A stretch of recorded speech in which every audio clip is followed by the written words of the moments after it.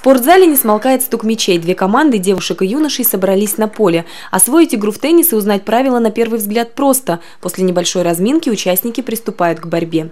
Играют до двух побед из трех партий, затем меняют соперника. Любители и профессионалы слились в товарищеской игре. Судит соревнования заслуженный тренер Владимир Морозов, взрастивший не один десяток чемпионов. Мастер признается, что в этом виде спорта важна и психология, и техника. Это вид спорта такой ну, увлекательный. Э, надо быть э, спортсменом очень развитым, и а игра складывается, как у шахматиста. Если ты на 2-3 хода пересчитываешь вперед, чем противник, можешь выиграть. А если просто играешь, то это уже потому что очень сложный вид спорта. Первыми состязания окончили девушки. Многие из них участвуют в соревнованиях впервые. Пришли за эмоциями, конечно, за победой. Инженеру второго цеха Анастасии Алешиной удача улыбнулась буквально на последних минутах. В финальной схватке она стала победителем. Ну, конечно, надо заниматься, надо тренироваться. Недостаточно тренировок. Я любитель, я не профессионал.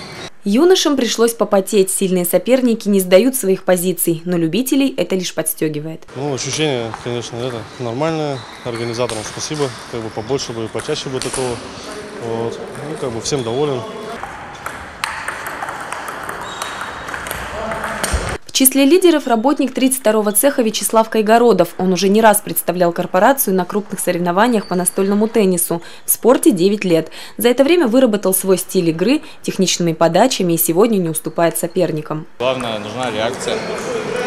Быстро среагировать на на мяч, сделать ответный удар. Двухчасовая игра закончилась награждением. Всем участникам вручили грамоты и значки корпорации, победителям медали. Организаторы надеются, что соревнования по настольному теннису станут массовыми и традиционными. Эти соревнования проходят впервые.